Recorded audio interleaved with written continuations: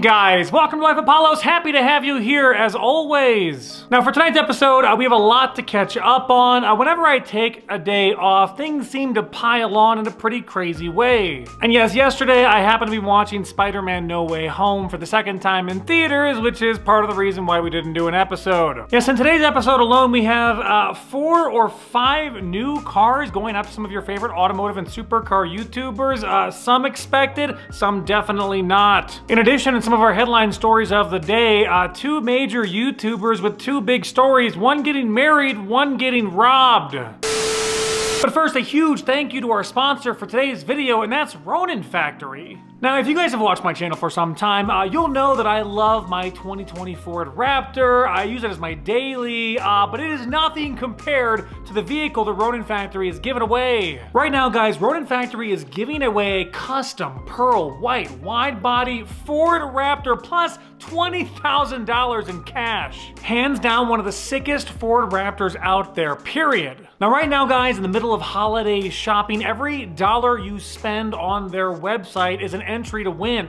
And they've got just about everything on their website, everything from truck parts to apparel to coffee even. Now, one of the best parts of Ronin Factory, guys, is they've decided to partner with Meals on Wheels for this giveaway. They have a goal to raise 10,000 meals for veterans and the elderly for this holiday season. It's incredible. And over the years, they've raised over $2.5 million for charities like Make-A-Wish and Wounded Warrior. And listen, guys, every time you purchase a pledge pack, you'll not only be entered in a chance to win the custom Ford Raptor, And $20,000, but you're also going to be directly supporting Meals on Wheels. So do me a favor, guys, in the top line of our description section below is their website. Go check it out. Use the discount code PALOS for 10% off. The giveaway ends December 26th, and they're drawing the winner in the first week of January, so don't wait. Get over there, check it out, and a big thanks to Ronin Factory for being our sponsor on today's video.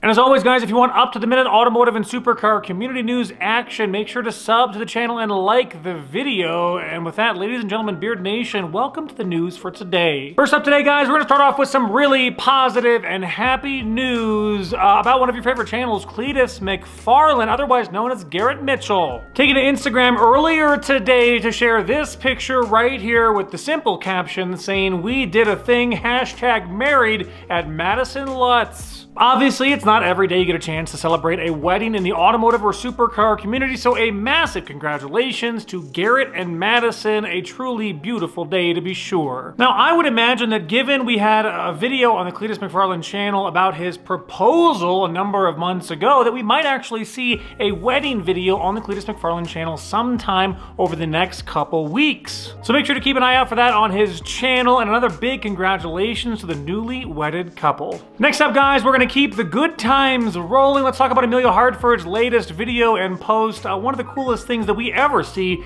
in the automotive community. Uh, her latest video is called Surprising My Mom with Her Dream Car. Now, the video itself is pretty fantastic and full of emotion. She also took to Instagram to talk about just what this meant to her to be able to do for her mom, saying one of my biggest life achievements was to surprise my mom with her dream car, and I finally have had the opportunity to do that. My mom is my biggest role model. Life hasn't been easy for our family, and I owe who I am today entirely to her. Growing up, I watched her work tireless hours, and even after my dad passed away, she went back to school to get a degree in order to keep a roof over our heads. She's always wanted a RAV4, but with her salary, could never afford one. I'm so thankful to be in a position where I could surprise her with one. There's more stuff there, guys, in case you want to go check it out.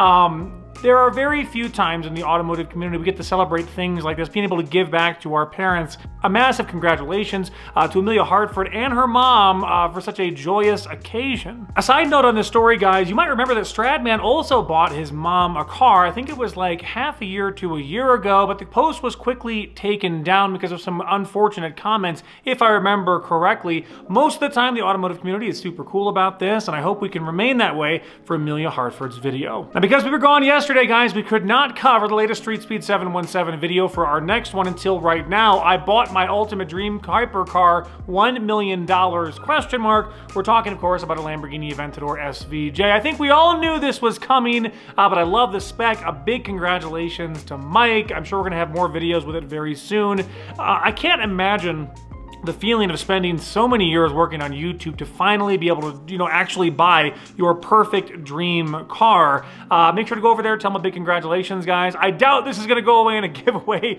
Uh, I don't think the SVJ is ever to go up for that. Uh, but anyway, make sure to go check it out, guys. Big congratulations to Mike. Uh, a momentous uh, period for his channel moving forward. Next up, guys, uh, another sort of new car coming to one of our favorite automotive channels, the Stradman. His latest video I had a couple of title changes, but now it's called the newest addition to the garage. Uh, actually, the car is just getting handed, the big donk car getting handed between Stefan and his channel. Most of you guys that watch Stefan's channel already knew this was coming, and now we get a chance to see Stradman's version of the same vlog that went up a week ago on Stefan's channel. Uh, very interesting stuff. We did get to see some nice Lamborghini Aventador donut action as well. Um, what do you guys think about it? I mean, like, are you excited about donk content? Was that more of Stefan Lewis's thing? Uh, I believe there was also a comment about another new car earlier in the video, if I remember correctly. Uh, so maybe some actual new cars coming to his channel very soon. Uh, I think he's been buying a new car pretty much every single month for the last six or seven months. But if you want to see what that entire video was about, a lot of fun stuff, make sure to go check it out, guys. Link for that video in the description below, as always. And I'm going to cover this next, guys, the last of our sort of new car stories. It has to do with Tavarish, guys. It's called I Traded My Fake Lamborghini for the Most Insane Car I've Ever Seen. It broke immediately.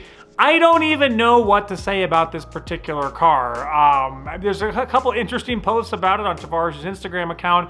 Uh, the person who previously had this car had a love of a particular genre of stuff. I don't want to say too much. Go check out the video. Uh, definitely one of the weirder videos on Tavarish' channel over the last couple months to be sure. Uh, but a fun video nevertheless, guys. Uh, go check it out. Let me know what you think. And uh, I'm excited to see what's going to happen with this car going forward. Next up, guys, uh, it seems like WhistlinDiesel is always in the news, and he's in it again because of one of his latest posts. Apparently, he was robbed of about $5,000 worth of materials uh, taken to Instagram showing a number of different photos showing the supposed perpetrator uh, with a caption below saying on November 19th this guy drove onto my property and stole $5,000 worth of small items from me. I knew it would happen eventually but wasn't too worried because I have good surveillance. When I noticed everything was gone I was just like oh well let's look at the footage and we'll get it back. Not sure why he did it midday but he was in there for 20 minutes and when he pulls out you can clearly see my four-wheeler ramps and a container that's full of monster Max shirts in the back. He stole three compound bows, two tailgates, a backpack leaf blower, a shop fan, and those two items. He came back two days later and spray painted my cell cameras that sent me pictures while he was doing it. He helped me load my stuff back into a truck a day later. I filmed us going to his house and the cops opening his buildings with us detectives after pulling a search warrant with my evidence.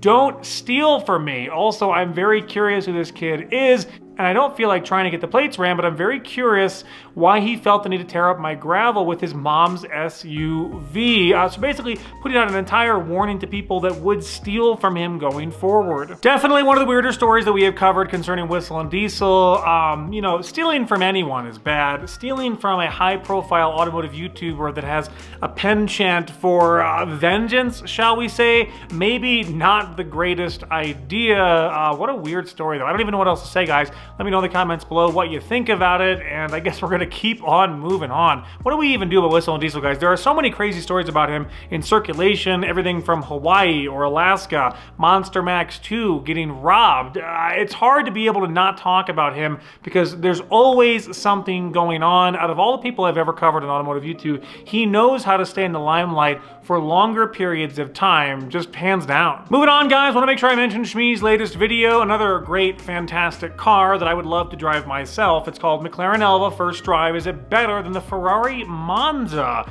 Um, so what's really interesting here is I love McLaren. I would generally take McLarens over most Ferraris, uh, and I haven't had a chance to drive the Elva or the Monza. Um, but in terms of looks alone, I think the Monza is in a different class altogether. As much as I love the Elva, I just don't think it looks quite as good as the Monza. But if you want to see what somebody who has a, a much greater knowledge base of these two cars talk about and sort of make a decision, Shmee's got you covered today. Uh, pretty rare cars though, very cool to watch. And speaking of McLaren guys, very interesting story on VinWiki, uh, very uh, fire-hearted sort of conversation in the comments below. That made no absolutely no sense. It's called What Happens When McLaren Blacklists You. Um, intriguing story. I don't want to spoil too much here. Just go check it out if you're at all curious what that title means. Um, Ed Bolian always has fantastic people on his channel at any given time, and I think you guys will find this story uh, just really fascinating overall. Go check it out. Let me know what you think. I just realized, guys, looking at my list, we forgot to cover another main new car coming to the channel. That's Daily Driven Exotics, guys. Revealing my new supercar. You never saw this coming. We're a little bit late on this because we took yesterday off. Um, it's a great Viper. I'm not going to spoil too much about it. If you haven't seen it, get over there, check it out. What do you guys think of the brand new Viper for the channel? Are you excited about the build? Um, they've been having more car issues, guys. Uh, the Ferrari 488 having massive trouble earlier today. Uh, hopefully the Viper can stay out of trouble moving forward. I hate to see that car go through the same sort of abuse and punishment that the other cars typically go through. Also want to make sure I mention Vtuned Garage, guys, who's been killing it lately with a brand new headquarters. He has a new video about what to do with this $10,000 McLaren 720S body. He was one of the only channels that ever did a 720S rebuild from top to bottom. Uh, if you want to see what that saga looks like, sort of in its current incarnation, go check out his latest video. And folks, that's all I've got for you guys today. Thanks so much for watching. Uh, make sure to sub to the channel if you love automotive and supercar community news. And uh, yeah, have a great rest of your day. We'll catch you tomorrow. And uh, that's all I got, guys. Have a great day. Bye.